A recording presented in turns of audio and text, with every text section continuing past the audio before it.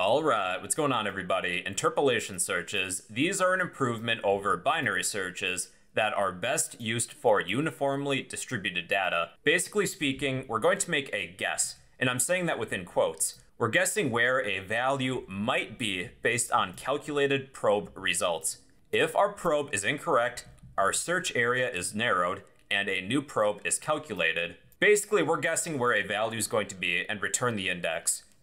So using an interpolation search, this has an average runtime complexity of big O of log log n. And in a worst case scenario, where our values within our collection increase exponentially, this can have a runtime complexity of big O of n. So to demonstrate this, let's create an array of integers. int array, we'll name this array, equals, and assign this some numbers all uniformly distributed. Let's say the numbers 1 through 9 all in order. This would be, I would say, a best case scenario. Then let's find an index. int index equals, and we will invoke an interpolation search function. So interpolation search. We will pass in our array and a value we would like to search for. Let's search for the number maybe 8. Okay, then let's declare this function. Private static int interpolation search. There are two parameters, an array of integers and our value we are searching for. I'm going to rename this parameter as value so it's more descriptive. The first thing that we're going to do is calculate the upper bound and the lower bound of our searchable area. So int high will be the higher bound of our searchable area, and this will be our array's length minus 1. And the lower bound is, well, the first index, int low, and I will set this equal to 0. Using a while loop, we will continue probing. The condition within our while loop is while our value is greater than or equal to our array at index of low, the lower bound, and our value is less than or equal to our array at index of higher bound. And our sizable search area is going to shrink after each iteration.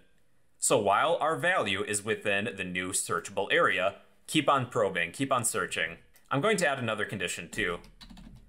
Low is less than or equal to high. After each iteration, our searchable area is going to shrink. Once our searchable area is zero elements, well, we can't search anymore, so we might as well exit. Now here's the formula to calculate where our value is probably going to be, and our guess will be referred to as our probe.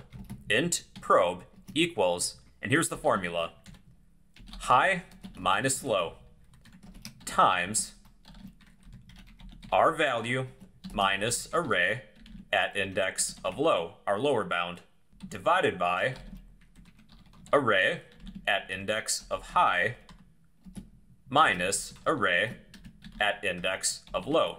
Just going to add low to the front of this, and I'm just going to make this a little bit more readable for us. Here's the formula to calculate where our value is likely going to be. It's a little complex to read this. A few of the contributing factors are the size of our current searchable area, high minus low. So to begin with, we have nine elements times the value we're searching for minus the value at the lower bound, so 8 minus 1, divided by the value at the higher bound minus the array at the lower bound. Then at the end, we're just tacking on whatever our lower bound currently is. So it's a complex formula. All you have to do is just copy this. So during each iteration, I'm going to display our probe. This is going to be essentially our guess. And let's check to see if our probe is equal to our value.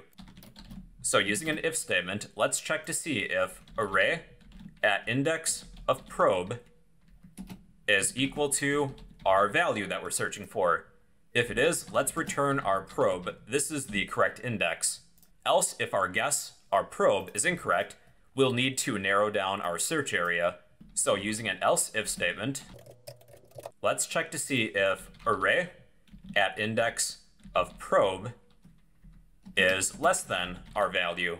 If that's the case, we will need to set the new lower bound low equals probe plus 1. Else, high equals probe minus 1. Now here's the deal with these statements. We're currently searching for the number 8. If we guess our probe is at, let's say, 5, and our value is greater than this probe, we can disregard this portion of the searchable area. So we're moving the new lower limit, the new lower bound, to just after where our probe was, 6. So this is the new searchable area, and then we'll calculate a new probe based on this data. If we're looking for, let's say, 2, and our probe says it's likely here at 5, well then since 2 is less than our probe, we can disregard all of this data, and this would be our new searchable area. We would move the higher bound of our data down to just below our probe. So that's kind of the idea. So at the end, if we do not find our value, let's return negative 1 as a sentinel value. So back within our main function, let's check to see if the value returned does not equal negative 1. Using if-else statements, if index does not equal negative 1, then let's print a message. System.out.println element found at index plus index. Else, element not found. Okay, so this should work. Let's run it. So we are searching for 8. So this formula calculated that this value is likely at probe 7, index 7, 0, 1, 2, 3, 4, 5, 6, 7. And this was the first iteration of our while loop. We were able to find our value 8 on the first iteration. So let's find a different value. How about 1? Element found at index 0. That's the first element. So interpolation searches work very well with uniformly distributed data. These numbers are all increasing by 1. So this is a little too easy for our interpolation search. It's guessing the likely index on the first try, so let's create a more difficult data set.